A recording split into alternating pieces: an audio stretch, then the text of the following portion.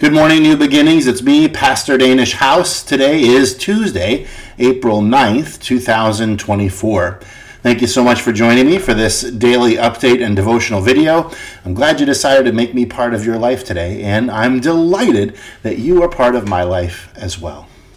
Well, today, April 9th, is the birthday of two of the wives of our elders. Two, the wives of two of our elders. They only each have one wife. Uh, Ifeoma Awaka is it's her birthday today, and Karen Joya it's her birthday today. Happy birthday, Ife! Happy birthday, Karen! Uh, you both looked wonderful yesterday. I, for me, it's yesterday. Uh, I'm recording this on Monday, but on Sunday, you guys look fantastic. Had a great time with you guys at the um, potluck supper, and it was good to see you both. Uh, God bless you today on your birthday. May you know that you are loved by God and loved by His church and His people. So thank you so much for all that you do among us, and also for supporting your husbands who are elders in the church. Uh, we love you and appreciate you. Uh, you do fantastic things. So thanks for being part of us. Um, I'm recording this on Monday, but uh, so for me, yesterday was Sunday, and we had a great time at that uh, potluck. Thank you so much again. wearing my Gordon Conwell Theological Seminary sweatshirt that you guys gave me as a, a, a anniversary present. So thank you so much uh, for that. I love it. Uh, I've never had a Gordon Conwell sweatshirt, so I'm, I'm very excited about that and uh, enjoy wearing it here. On Sunday, I preached out of Psalm 8, and Psalm 8 uh, takes a look at uh, the glory and the majesty of God, and that God is, is glorious and majestic through his name and through his uh, role as the creator of all things.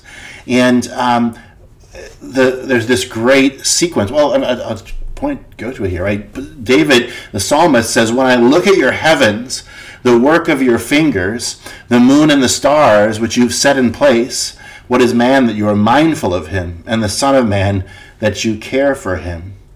David goes out and looks at the night sky and sees the moon and the stars and the vastness of the universe, and he is blown away by the majesty and the goodness and the care of God.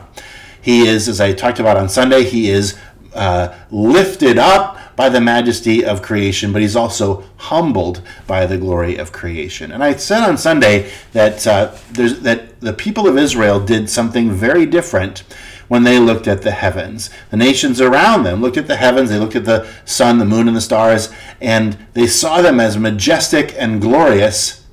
And so they reasoned that those must be gods. And they worshiped the sun, and they worshiped the moon, and they worshiped the stars.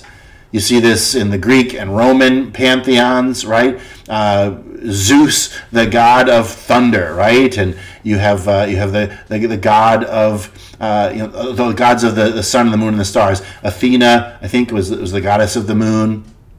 Um, and they all were sort of uh, characteristically connected with heavenly bodies. Uh, Zeus connected with the planet Jupiter, for example, in the sky.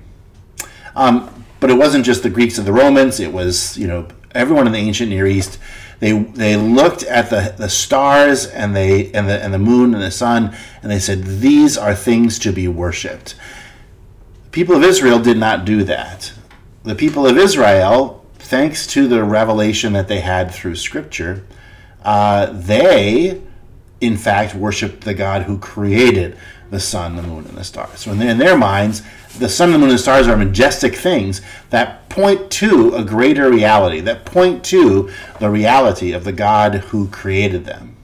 And this tendency that human beings have to worship the created thing rather than the creator is a dangerous thing in the Bible. The Bible presents this, this tendency towards what we call idolatry, as being a, a spiritually dangerous thing for us. It's presented in the book of Romans as an exchange. Here's what it says in Romans chapter 1 The wrath of God is revealed from heaven against all ungodliness and unrighteousness of men who by their unrighteousness suppress the truth. For what can be known about God is plain to them because God has shown it to them. For his invisible attributes, namely his eternal power and divine nature, have been clearly perceived ever since the creation of the world in the things that have been made. So they're without excuse. For although they knew God, they did not honor him as God or give thanks to him, but they became futile in their thinking, and their foolish hearts were darkened. Claiming to be wise, they became fools, and exchanged the glory of the immortal God for images resembling mortal man, and birds, and animals, and creeping things. Therefore God gave them up in the lusts of their hearts to impurity, to the dishonoring of their bodies among themselves, because they exchanged the truth about God for a lie and worshipped and served the creature rather than the Creator, who is blessed forever. Amen. There's a lot in this Romans passage. I'm not going to unpack all of it, but um, it's it's a very key passage because in this passage, Paul is explaining why people don't worship the one true God. That people would rather exchange worship of the one true God for worship of created things. Uh, he says images resembling mortal man. Okay, I think there he's talking about the gods of the nations in a lot of ways, um, who are often depicted in statues that looked human or or at least humanoid, right? Um, but also the worship of self is, I think, also there. This idea that that that uh, I am the center of the universe, that I am the one who uh, makes has the right to make the decisions on how to run my life. I am the the captain of my soul, to use the words from uh, the famous poem.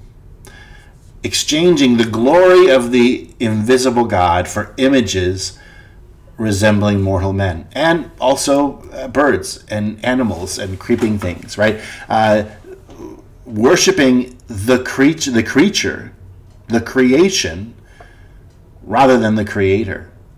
And this is a tendency that human beings have. We see it in, in cultures all around the world. Um, we see it even in our own selves. We would rather, the, the, the concept of an invisible, almighty God who is the God over all the universe, is a daunting concept. It is a frightening concept because if we're responsible to such a God who is holy and good and just, then how can any of us stand in his presence? No, far better to uh, worship gods who are small and petty, to worship ourselves. We're easily pleased with ourselves. Um, far better for us to uh, put aside the truth about who God is and worship instead our conception of God. Um, and that is the challenge, right? That's the challenge because uh, we are um, we're drawn to worship something that is less than God, and we wind up worshiping, in that instance, a lie. The lie that this thing is worthy of my worship. Now, when we talk about worship, I'm not just talking about singing songs or going to a church service devoted to it. Very few of us go to a church service devoted to ourselves. Uh, but we do build cathedrals around ourselves. We do uh, uh, pamper ourselves, serve ourselves. We do consider ourselves above everybody else. We do uh, believe that we are able to uh, competently uh, direct our own path in this world. When that's the those are the elements of worship, right? Who is the center of your world? Is it you or is it God? Who is the one who has the right to tell you how to make your decisions, how to spend your money, how to vote? Who's the one who is able to direct you about how to conduct your marriage, how to parent?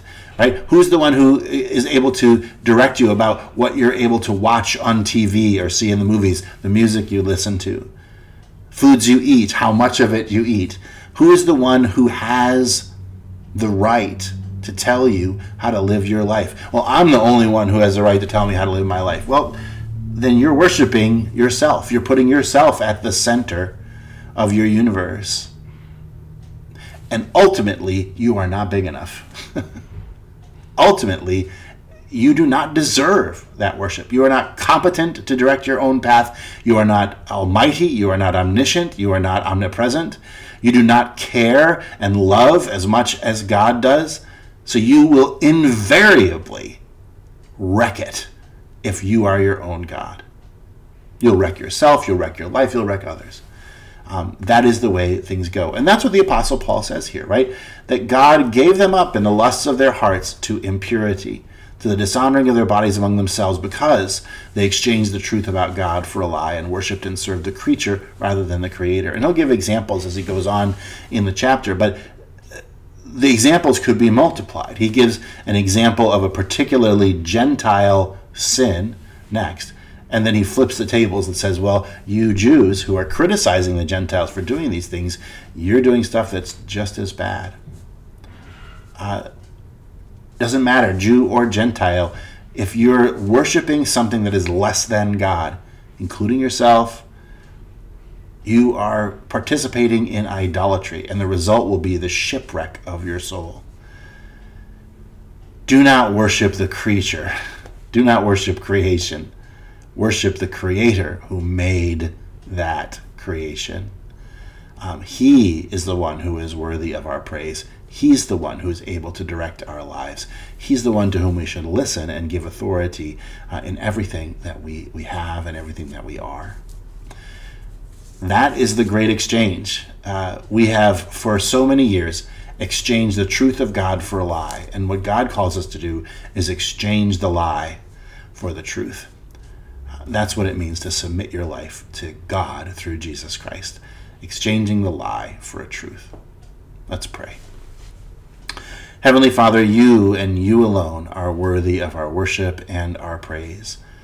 We center our lives around you and you alone. You have the authority to tell us uh, everything that we need to know about ourselves and about and direct our, our paths according to your way. God, I pray that you would show us the areas of our lives where we've exchanged the truth about you for a lie and worshiped and served the creature rather than the creator. We've made that exchange. We make that exchange every day when we sin.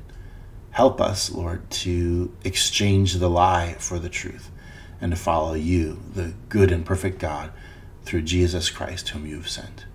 Lord, I lift up uh, Ifeoma and Karen today on their birthdays.